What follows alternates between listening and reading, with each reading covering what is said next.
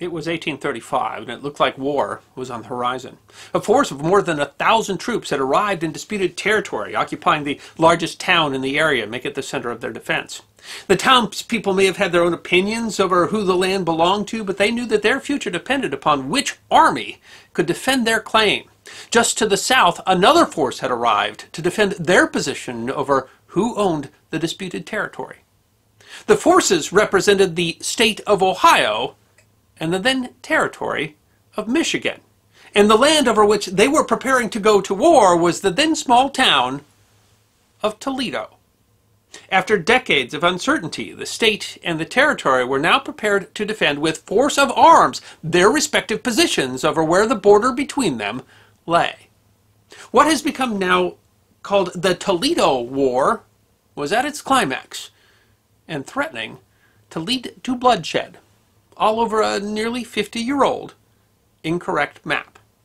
It is history that deserves to be remembered.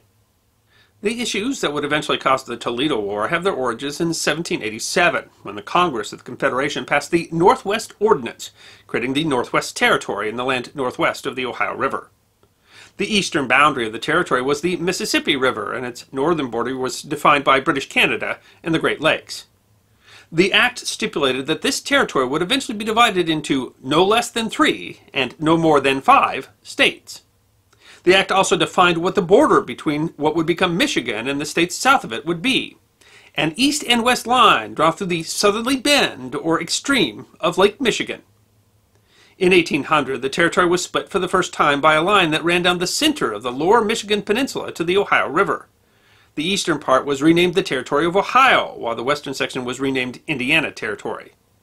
The 1787 ordinance required 60,000 inhabitants for any part of the territory to apply for statehood, and the 1800 census counted 45,000 in the Ohio Territory.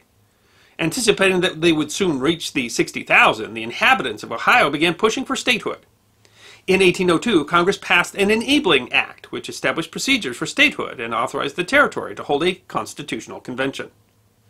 The Enabling Act defined the northern boundary of Ohio as an east and west line drawn through the southerly extreme of Lake Michigan, running east until it shall intersect Lake Erie.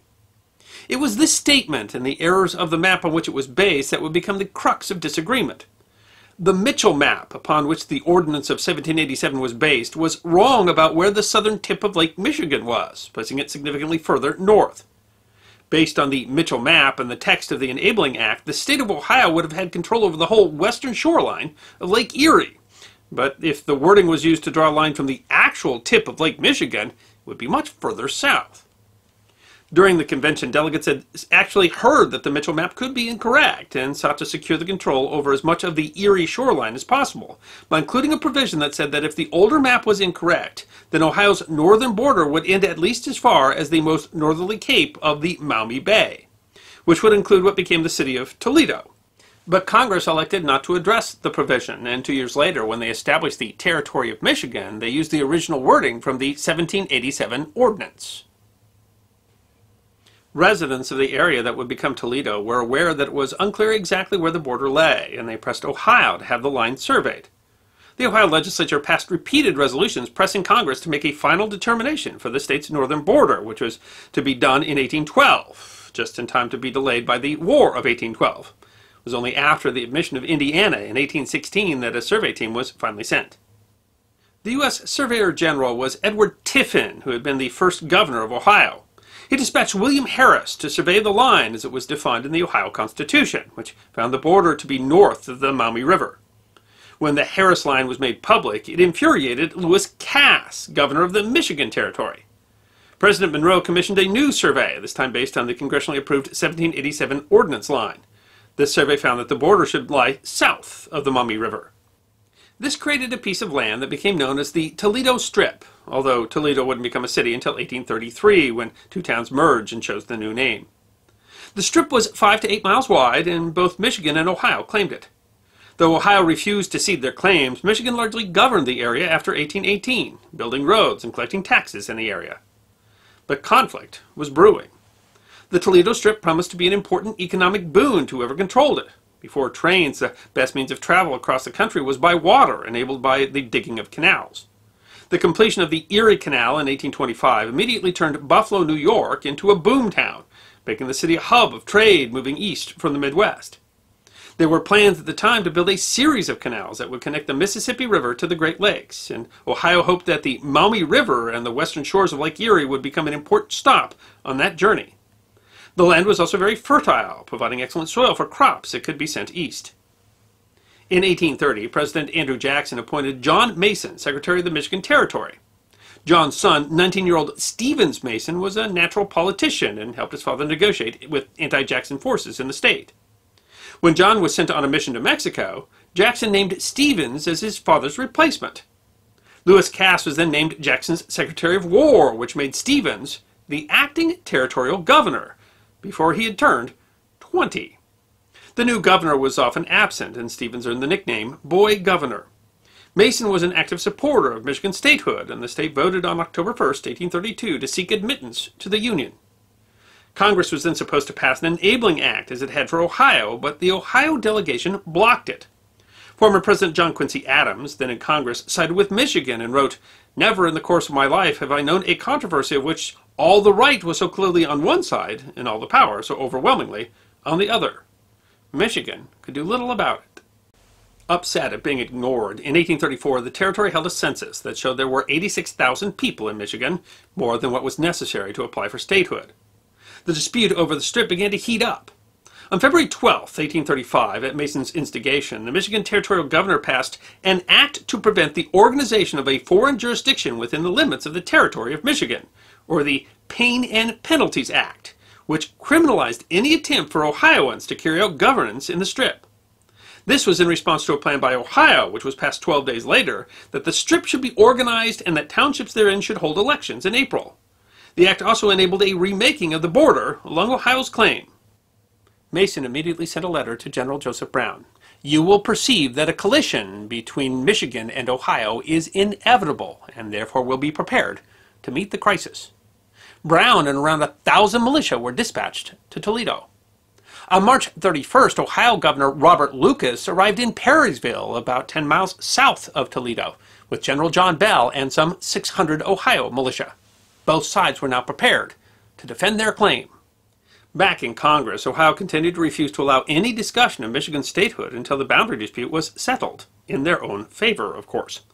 Michigan decided that they would proceed even without congressional approval and elected delegates for a constitutional convention. President Jackson was being pressured to get involved, but he didn't want to alienate the 21 Ohio members of Congress. His attorney general, though, sided with Michigan's interpretation. Jackson sent two representatives to find a compromise. They decided that Michigan should allow Ohio to resurvey the line and that the region should run itself until Congress came up with a solution. Ohio held local elections in the Strip three days later, and so Michigan refused to disband its militia. Thinking that things had cooled down, Ohio sent its survey team to mark their version of the border. On April 26th, the survey party was resting in a field when a posse of Michiganders appeared to arrest them. According to the Ohio Party, while enjoying the blessings of the Sabbath, some 50 Michigan militia appeared to arrest them. Outnumbered and with only a few armed men, the nervous surveyors fled while under fire. Nine of our men, who did not leave the ground in time after being fired upon by the enemy, from 30 to 50 shots, were taken prisoners and carried away. Most of the nine would be released on bail. The Michiganders said that the Ohioans had drawn weapons first, and that the Michiganders had only fired a few shots in the air as a warning after the fleeing men. The encounter came to be named the Battle of Phillips Corners. Governor Lucas, infuriated, pushed through a number of laws in the Ohio legislature to make Toledo the seat of a newly named Lucas County, to form a court of appeals there, and to provide $300,000 to implement the legislation. Michigan immediately appropriated $315,000 to support their own militia. Michigan drafted a constitution during the summer and set up a functional state government that would first meet in November. Congress still refused to admit the state, and President Jackson vowed to reject admission until the dispute was resolved. A report that 10,000 able militia were available in Ohio became exaggerated as it went north, until Michigan promised to welcome the Ohio Million to hospitable graves. During the summer, the two sides arrested each other's partisans and generally brawled over the strip, spying on rival sheriffs and trying to govern the area. Michigan law officers sought to arrest Ohio supporter Major Benjamin Stickney in Toledo, which they did only after a major scuffle with his family. They had to physically tie the major to his horse to transport him to jail. Deputy Sheriff Joseph Wood attempted to arrest Stickney's younger son, who was named Two, brother of one Stickney. And in an ensuing fight, Two stabbed Wood with a penknife. Though only minorly injured, Wood was carried from the scene while the two fled into Ohio. Michigan charged Stickney with assault, but Governor Lucas would not send him to Michigan and argued that the crime was committed in Ohio and that Michigan had no authority to try to Stickney anyway. Trying to get things back under control, and thanks to the pressure of Ohio's congressman, Jackson removed Mason from his position as governor. But while his replacement was on the way, Mason ordered the Michigan militia to enter Toledo and arrest a number of Ohioans who were holding a symbolic court of appeals. By the time the militia arrived, they learned that the Ohio men had held court in the early hours of the morning and fled back across the Maumee River. Mason remained incredibly popular in Michigan, and despite his replacement arriving, the territory approved its constitution and elected Mason their first governor in October 1835. And for a time, Michigan was led by two governments. They sent two senators and a representative to Congress, but the men weren't allowed to take their seats. Though scuffles continue, Michigan couldn't afford to continue the standoff. The cost of maintaining the militia was quickly eating into what funds they had, and without support of the federal government, they had little ability to raise more. On June 15, 1836, Jackson signed a bill that would admit Michigan as a state, but only if it gave up its claim to the Toledo Strip. In exchange, Michigan would be given the 9,000 square miles of the western three quarters of the Upper Peninsula. The easternmost quarter was already part of the territory. At the time, the Upper Peninsula was considered worthless, a land of perpetual snow that was destined by soil and climate to remain forever a wilderness. A special convention in Ann Arbor rejected the compromise. But desperation and opportunity have a way of changing opinions. A large surplus from the federal government was about to be distributed to the states, but not territories. A second convention was held in Ann Arbor in December, during a notable cold spell that passed a resolution to accept the congressional proposal. It isn't even clear if the convention was legal. The legislature had not called for one, and Michigan Whigs boycotted it. The cold and the controversy gave the meeting its name, the Frostbitten Convention. Despite questions of legality, Congress chose to recognize the resolution and officially grant Michigan its Upper Peninsula and statehood, while granting Ohio the coveted Toledo Strip. Michigan was made the 26th state on January 26, 1837. At first, Michiganders thought that they had lost the war, but that attitude changed in the 1840s with the discovery of iron and copper ore deposits in the Upper Peninsula. And those metals, as well as timber, earned fortunes for the state that at first thought that they had inherited only perpetual wilderness. Disagreements over the border actually continued into the 20th century until a resurvey in 1915 was done that put the matter to rest. The state governors shook hands across a finalized border to symbolize the end of the conflict. Some Ohio counties still follow the old state line, and there exists near Toledo an old state line road that follows along some of the original line that had been claimed by Michigan.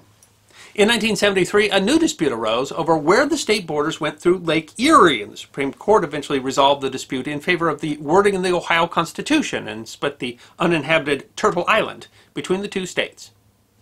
Interestingly, the real loser of the Toledo War might not have been Michigan or Ohio, but Wisconsin. Because absent the compromise that gave Michigan the Upper Peninsula, that land likely would have been part of Wisconsin when they eventually applied for statehood. I hope you enjoyed this episode of The History Guy, short snippets of forgotten history between 10 and 15 minutes long. And if you did enjoy, please go ahead and click that thumbs up button.